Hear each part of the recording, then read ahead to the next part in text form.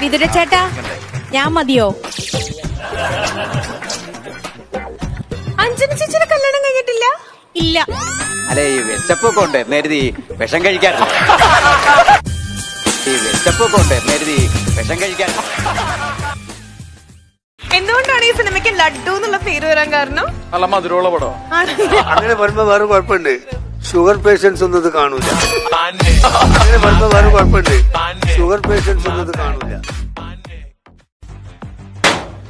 ഒരു നായിന് പോയി എനിക്കവനെ അടിക്കണം.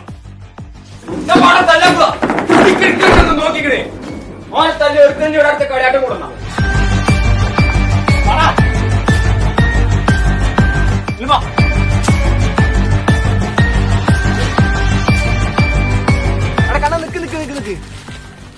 അല്ല വേണ്ട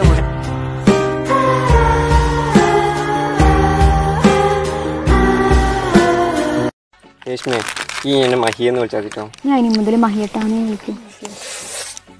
കേട്ടാ മതിക്ക്. മഹിയട്ട ചക്കരേ. എന്റെ കാശൊന്ന് കൊടുക്കണേ.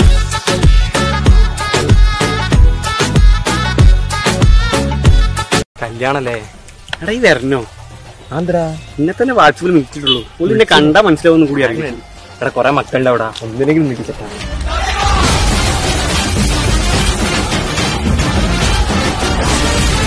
ഹലോ അമ്മേ ഞാനേ ഹോസ്പിറ്റലിൽ നിന്നാ വല്യച്ഛന് പാമ്പ് പിടിച്ചു. യോ എന്നിട്ട്? അല്ല അമ്മ ടെൻഷൻ ആവണ്ട. അമ്മ ടെൻഷൻ ആവരുത്. പിന്നെ ഒരു ചെറിയ പ്രശ്നമുണ്ട്. എന്തുവാ? അല്ല അങ്ങനെ പേടിക്കാനുള്ള പ്രശ്നമൊന്നും ഇല്ല.